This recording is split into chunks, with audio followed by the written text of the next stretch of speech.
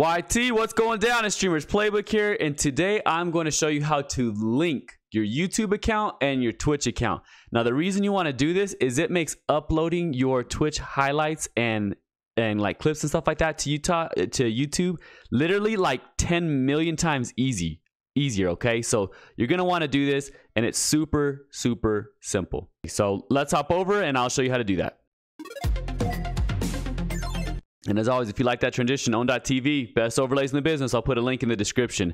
So first thing you want to do is go up here, click on your profile icon, all right? So, and then once you're in there, go down to your settings, okay? Click on settings, and gonna see a bunch of these tabs up here. Go ahead and click on the tab that says connections. Now, as you can see, these are the different things that you can link your Twitch account to. Right now, mine is connected to YouTube. I'm gonna go ahead and disconnect just so I can show you all. So now I find the YouTube section and I'm to click here, connect, right? Go ahead and click it. And it's to bring up your emails. I'm to blur this out so y'all don't see nothing, but should, should be your emails. Choose the email that that you want for the YouTube channel. Okay, so I'm gonna choose my email here, and then it's gonna bring up the YouTube account that you want to link to your Twitch channel. So you're gonna go ahead and choose that. For me, I'm gonna choose Streamers Playbook. Once I do that, it's Twitch is gonna ask permission to do, you know, manage your videos and stuff like that. Go ahead and click allow. Now that you do that, boom, you should get this green check mark. And if you click there, there's your YouTube channel.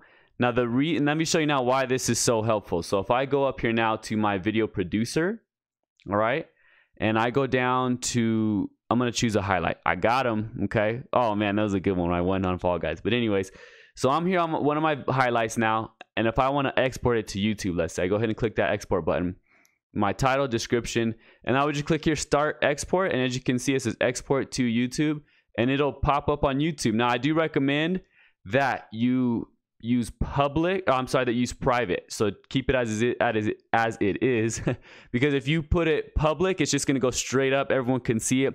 You probably want to do some tinkering with it while it's on YouTube.